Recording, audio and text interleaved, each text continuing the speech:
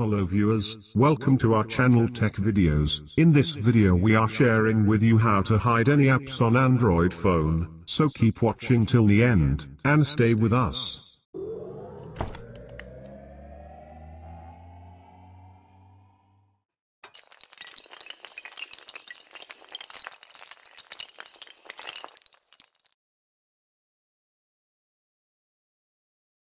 If you don't subscribe our channel, please subscribe our channel, and thumbs up like button.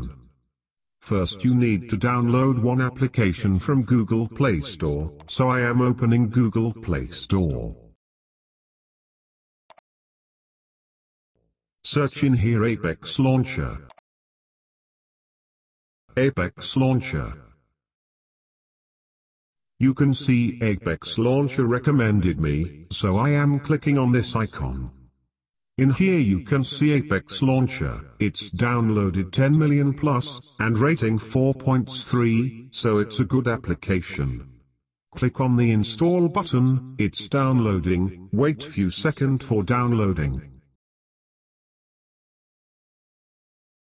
Downloading and installing process has been completed.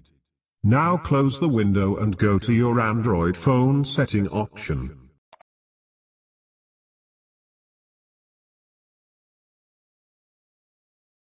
Settings. Find Home. Click on the Home option. Select Apex Launcher. Then close the window. Now go to Apex Launcher. Apex Launcher. Click on the Hidden Apps option. Click on the Add Hidden Apps option. Select application which application if you want to hide. I want to hide App Extractor and Browser, so mark this application. Then click on the Hide App option. Now I want to unhide two application. Go to Apex Launcher. Click on the unhide option for unhide. So I hope you enjoy this simple video. If you have any question let us know in the comment section. If you don't subscribe our channel please subscribe our channel for more Android tutorials videos, and thumbs up like button.